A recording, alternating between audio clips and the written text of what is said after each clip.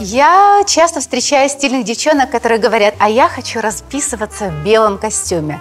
Я сделала свою интерпретацию белого костюма. Посмотрите этот кусочек до самого конца.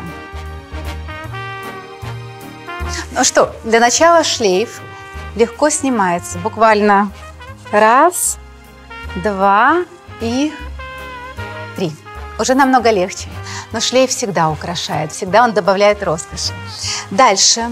Э, корсет тоже становится намного легче. Вот сперва вы все прикрыли, он несколько дробит ваше бедро, делает образ более благородным. Но если вы все-таки готовы полностью оголить плечи и руки, тогда, сейчас покажу. Раз, два,